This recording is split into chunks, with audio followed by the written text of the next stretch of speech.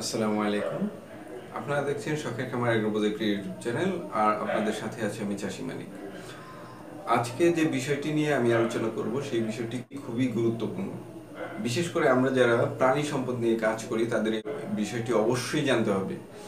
আমরা যদি এই বিষয়টি সম্পর্কে স্বচ্ছ ধারণা না রাখি, তাহলে অবশ্যই অদূর ভবিষ্যতে আমাদের প্রাণী সম্পদে ব্যাপক হারে একটি বিপর্যয় নেমে আসবে।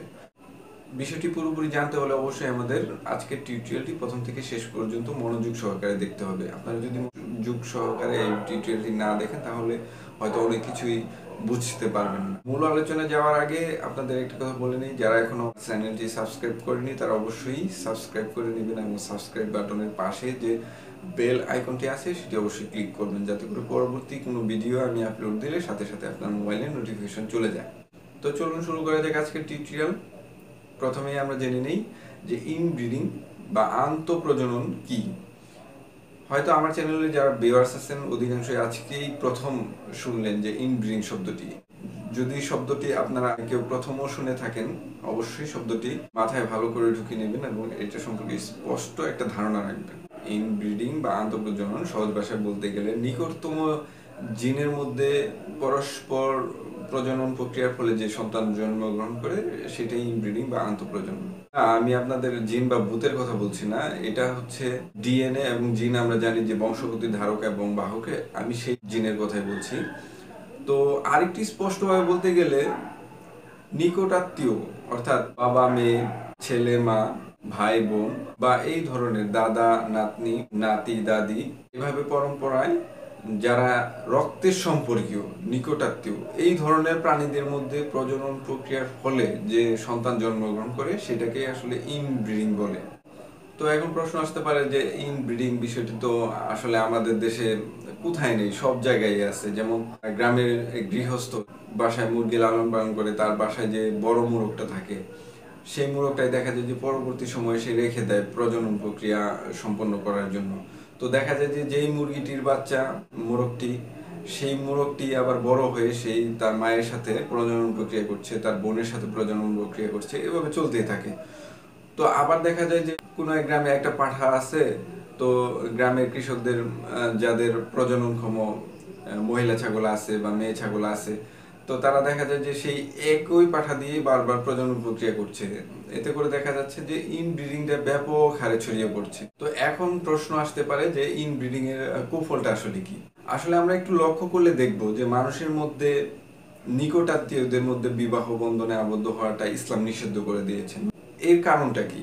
আবার বৈজ্ঞানিক দৃষ্টিকোণ থেকেও নিকট আত্মীয়দের মধ্যে বিবাহ বন্ধনে আবদ্ধ হওয়াটা বিজ্ঞানসম্মত নয়। এমনকি চাচাতো, মামাতো ফুপাতো খালাতো ভাই বোনের মধ্যেও যদি বিবাহের সম্পর্ক হয়, তার অধিকাংশ ক্ষেত্রেই তাদের সন্তান সন্ততি, জন্মগত এবং স্বাস্থ্যগত ত্রুটি দেখার সম্ভাবনা থাকে অনেক বেশি। নিকট আত্মীয়দের মধ্যে বিবাহের বন্ধনে আবদ্ধ হওয়ার ফলে যে সন্তান জন্মগ্রহণ করে, তাদের স্বাস্থ্য ঝুঁকি এবং জিনগত ত্রুটি অন্যান্য শিশুদের চাইতে ত্রিশ শতাংশ বেশি থাকে।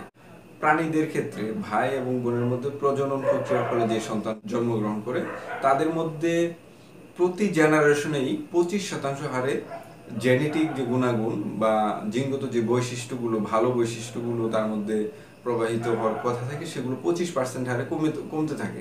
ইনব্রিডিং এর প্রভাব স্পার্ম বা শুক্রাণুর উপরও পড়ে। তো দেখা যায় যে এদের শুক্রাণু ডিম্বাণুকে নিষিক্ত না করার হার দশ শতাংশ থেকে চল্লিশ শতাংশ পর্যন্ত হতে পারে। এটা আসলে খুবই অ্যালার্মিং একটা বিষয়। বংশগতির সাধারণ সূত্র অনুসারে যদি বাবা মা উভয়ের একই ধরনের জিন রিসেসিভ বা লুকায়িত অবস্থায় থাকে, তাহলে তাদের প্রজননের ফলে যে সন্তান জন্মগ্রহণ করে, তারা শতকরা পঁচিশ ভাগেরও বেশি সম্ভাবনা থাকে জেনেটিক ত্রুটি নিয়ে জন্মগ্রহণ করার। এবং পঞ্চাশ ভাগেরও বেশি সম্ভাবনা থাকে একই জিনের বাহক হওয়া আসলে সমস্ত প্রাণী জগতের মধ্যে বিষয়টি একই রকম। অর্থাৎ মানুষ, গরু, ছাগল, হাঁস, মুরগি, মাছ, অর্থাৎ যাদের প্রাণ আছে, পশু, পাখি সব কিছুরই এই জিনগত বৈশিষ্ট্যগুলো সাধারণত একই রকম হয়ে থাকে ইনব্রিডিং ইফেক্টটা চলুন, এখন আমরা জেনে নিই যে আসলে প্রাণী সম্পদের মধ্যে ইনব্রিডিং হলে, অর্থাৎ কোনো প্রাণীর মধ্যে যদি ইনব্রিডিং প্রক্রিয়াটা হয়ে যায়, তাহলে এর কি প্রভাবটা পরবর্তী জেনারেশনে পড়ে? প্রথম যে প্রভাবটি পড়ে, সেটি হচ্ছে উন্নত জাতটি আস্তে আস্তে অনুন্নত হয়ে যায়। অর্থাৎ আমরা দেখা যায় যে একটি ভালো জাতের গাভী কিনলাম, যদি ইন ব্রিডিং এর পর্যায়ক্রমে চলতেই থাকে, তাহলে আস্তে আস্তে সেটা জাতটা অবনমিত হবে, অর্থাৎ অনুন্নত হতে থাকবে। তো এই ইন ব্রিডিং এর পরে যে বাচ্চাগুলো জন্মগ্রহণ করে, তারা শারীরিকভাবে খুবই খরবাকৃতির হয়ে থাকে এবং দুর্বল হয়ে থাকে। জন্মগত ত্রুটি, শারীরিক বিকলাঙ্গতা দেখা যায় যে চোখ ডাবানো হতে পারে, ঠোঁট বা মুখ বাঁকা হতে পারে। আমরা লক্ষ্য করলে দেখব যে অনেক হাঁস মুরগি বা টার্কিতে অনেক সময় দেখা যায় যে অধিকাংশ বাচ্চাই বিকলাঙ্গ হয় প্যারালাইজ টাইপ হয় বা ঠোঁট বাঁকা পা বাঁকা হয়। তো এ ধরনের আসলে সবার হয় না। কিছু কিছু লোককে এরকম দেখা যায় যারা ইনব্রিডিং সম্পর্কে অসচেতন। প্যারেন্টস স্টকে ইনব্রিডিং এর প্রবলেমটা প্রকট আকার ধারণ করেছে, তাদের ক্ষেত্রে এই সমস্যাগুলো হয়ে থাকে। ইনব্রিডিং এর ফলে জন্মগত প্যারালাইসিসের সংখ্যা বেড়ে যায়। দেখা যায় যে প্রাণীর বা মুরগির পায়ের গরমটা স্বাভাবিক না, এক পা ছোট, এক পা বড় এরকম হয়ে থাকে বা এক পা একটু মোটা, আরেক পা একটু চিকন এরকম অস্বাভাবিকতা দেখা যায়। আর অনেক সময় দেখা যায় যে স্বাভাবিকের চাইতেও অনেক ছোট আকারের ঠোঁট বা দেখা যায় যে একটা চোখ হয়নি বা অনেক সময় দুইটি চোখে নাও ফুটতে পারে এরকম ত্রুটিগুলো দেখা যায়। একটি পা ছোট, আবার আরেকটি পা তুলনামূলকভাবে বড়। আবার দেখা যায় বাচ্চাটি জন্মগত অন্ধত্ব নিয়ে জন্মগ্রহণ করে, অর্থাৎ জন্ম থেকে সে চোখে দেখে না। এছাড়া ইনব্রিডিং এর পরে জন্ম নেওয়া বাচ্চাটি স্নায়বিক দুর্বলতায় ভোগে। এর ফলে দেখা যায় যে জন্মের পরপরই মৃত্যু হারটা অত্যাধিক বেড়ে যায়। আবার দেখা যায় যে অস্বাভাবিক ছোট আকারের বাচ্চা জন্মগ্রহণ করে। এটাও আসলে ইনব্রিডিং এর একটা প্রবলেম তো ইনব্রিডিং এর ফলে যে প্রাণীটি আমরা পাই, সেটা থেকে পরবর্তীতে প্রোডাকশনের হারও কমে যায়। ডিম বা বাচ্চার উৎপাদন কমে যায়, মাংস উৎপাদন অস্বাভাবিক রকম কমে যায়। ইনব্রিডিং এর ফলে জন্মগ্রহণকারী যে বাচ্চাগুলো বা যে প্রাণীগুলো পরবর্তীতে সার্ভাইভ করে, তাদের প্রজনন ক্ষেত্রে দেখা যায় যে তাদের শুক্রাণুর উর্বরতা কমে যায়। এর ফলে অধিকাংশ সময় আমরা দেখি যে ডিমের ফার্টিলিটি কমে যায়। বন্ধাত্বের যে সমস্যাটা, সেটাও ইনব্রিডিং এর একটা কুফলের সবচেয়ে বড় যে সমস্যাটা হয় ইনব্রিডিং এর ফলে জন্মগ্রহণ করা প্রাণীগুলো পরবর্তীতে পরিবেশের সাথে অ্যাডজাস্ট ঠিক মতো করতে পারে না।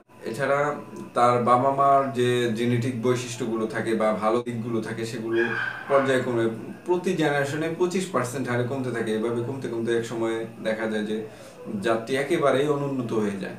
পোলট্রির ক্ষেত্রেও আমরা যে প্রবলেমগুলো ফেস করতে পারি, দেখা যায় ইনব্রিডিং এর ফলে জন্ম নেওয়া পোলট্রির যে স্ট্রেইনগুলো, যেমন টার্কি হোক বা মুরগি হোক, যেটাই হোক তাদের থেকে আশানুরূপ ডিম উৎপাদন পাওয়া যায় না। আবার ডিম পেলেও দেখা যায় যে সেখানে ফার্টিলিটি কমে যায়, মাংস উৎপাদন কমে যায়। এ ধরনের প্রবলেমগুলো সাধারণত ইনব্রিডিং এর ফলে হয়। তো আরেকটি থিওরি আছে, সেটি হচ্ছে আউটব্রিডিং আউটব্রিডিংটা হচ্ছে যে রক্তের সম্পর্কীয়দের কথা এতক্ষণ আমি আলোচনা করলাম, তাদের মধ্যে প্রজনন প্রক্রিয়া না করানো, অর্থাৎ একই গোষ্ঠীর কোনো প্রাণীর সাথে প্রজনন প্রক্রিয়া না করে আমরা যদি ভিন্ন কোনো গোষ্ঠীর প্রাণীর সাথে প্রজনন প্রক্রিয়া করি, এর ফলে যে বাচ্চাগুলো বা পরবর্তী প্রজন্মগুলো আসে, সেগুলো একেবারে সুস্থ, সবল, চমৎকার, উর্বর এবং উচ্চ ক্ষমতা সম্পন্ন একটি প্রজন্মের সৃষ্টি হয়। পোলট্রির ক্ষেত্রে তাদের কাছ থেকে আমরা বেশি পরিমাণ ডিম এবং মাংস আশা করতে পারি। বা প্রাণী সম্পদের অন্যান্য যে সেক্টর গরু, ছাগল, এগুলোর ক্ষেত্রে দেখা যায় যে এদের কাছ থেকে আমরা বেশি পরিমাণ দুধ বা বেশি পরিমাণ মাংস আশা করতে পারি। তো আউটব্রিডিং থিওরিটা আমাদের অবশ্যই অ্যাপ্লাই করতে হবে আমাদের ফার্মে তো চলুন, এখন আমরা জেনে যাই যে ইনব্রিডিং থেকে বাঁচার উপায়গুলো আসলে কি কি? কি কি স্টেপ নিলে আমরা আসলে আমাদের ফার্মটাকে ইনব্রিডিং মুক্ত রাখতে পারব? তো প্রথমে যে বিষয়টি আমি বলব সেটি হচ্ছে নিকট আত্মীয়দের মধ্যে প্রজনন প্রক্রিয়া করানো যাবে না। দেখা যায় একই পুরুষ আমরা বারবার প্রজননের কাজে ব্যবহার করি। যেমন ছাগলের ক্ষেত্রে দেখা যায় যে একটি পাঠাই আমরা বারবার প্রজননের ক্ষেত্রে ব্যবহার করি। বা আমাদের টার্কি ফার্মে যদি একই টম বারবার আমরা প্রজননের ক্ষেত্রে ব্যবহার করি, এর ফলে ইনব্রিডিংটা বিস্তার লাভ করবে। সেজন্য আমাদের একই টম বা একই পুরুষ প্রাণীটি বারবার ব্যবহার করা যাবে না। সেটা কিছু দিন বা কয়েক মাস পরে পরে পরিবর্তন করতে হবে। আমরা যখন প্যারেন্টস স্টক তৈরি করব, তখন অবশ্যই এই জিনিসটি খেয়াল করব। এটা খুবই ইম্পর্টেন্ট এবং ভাইটাল একটা বিষয়। সেটি হচ্ছে প্যারেন্টস স্টক করার জন্য আমরা একই ফার্ম থেকে বেশি পরিমাণ বাচ্চা সংগ্রহ করব না। কারণ তাতে করে ইনব্রিডিং এর একটা সম্ভাবনা থেকেই যায় পসিবিলিটি থেকেই যায়। তো এই পসিবিলিটিটা দূর করার জন্য আমরা দেখা যায় যে ভিন্ন ভিন্ন ফার্ম থেকে অল্প অল্প করে বাচ্চা সংগ্রহ করব। তাহলে দেখা যাবে যে ভিন্ন ভিন্ন ব্লাড লাইন একসাথে হয়ে আমাদের একটা সুন্দর আউট ব্রিডিং সম্পন্ন একটা প্যারেন্ট স্টক তৈরি হবে। আরেকটি বিষয় খুবই গুরুত্বপূর্ণ, সেটি হচ্ছে যে ফার্মাররা বা যারা ইনব্রিডিং সম্পর্কে কোনো ধারণা রাখে না, তাদের কাছ থেকে বাচ্চা সংগ্রহ করে আমরা প্যারেন্টস স্টক না করাই উত্তম। কারণ যে ফার্মারের নিজেরই ইনব্রিডিং সম্পর্কে কোনো স্বচ্ছ ধারণা নাই, সে আপনাকে ইনব্রিডিং মুক্ত কোনো বাচ্চা উপহার দিতে পারবে না। এবং সেই বাচ্চাটা নিয়ে আপনি যদি একটা প্যারেন্টস স্টক দাঁড় করেন, সেটা হতে কখনোই ভালো একটা রেজাল্ট আশা করা যায় না। ইনব্রিডিং থেকে বাঁচতে হলে আমাদের অবশ্যই সিলেক্টেড ব্রিডিং করতে হবে। সিলেক্টেড ব্রিডিংটা হচ্ছে নির্ধারিত পুরুষ এবং মহিলার মধ্যে প্রজনন প্রক্রিয়া করানো। আরেকটি বিষয় আমাদের লক্ষ্য রাখতে হবে, সেটি হচ্ছে আমাদের অবশ্যই প্যারেন্টস স্টকের একটা ডাটা শিট তৈরি করতে হবে, অর্থাৎ হিস্ট্রি সংরক্ষণ করতে হবে। অর্থাৎ কোন পুরুষ প্রাণীটির সাথে কোন মহিলা প্রাণীটির প্রজনন প্রক্রিয়া করানো হলো এবং তার দ্বারা যে বাচ্চাটি হলো সেগুলোকে শনাক্ত করে রেজিস্টারে অবশ্যই লিপিবদ্ধ করতে হবে। এভাবে করে আমরা নিজেরা একটু সচেতন হলে খুব সহজে ইনব্রিডিং মুক্ত আমাদের ফার্মটা তৈরি করতে পারব। ইনব্রিডিং মুক্ত রাখার জন্য আরেকটি কাজ আমরা করতে পারি, সেটা হচ্ছে আমরা ভিন্ন ভিন্ন ফার্ম হতে প্রাণী সংগ্রহ করতে পারি বা আমরা যারা ফার্মার আছি তারা একে অপরকে সহায়তা করতে পারি। দেখা গেল যে আমাদের শখের খামার প্রজেক্টে কিছু ইনব্রিডিং সম্ভাবনার মেল টার্কি রয়েছে।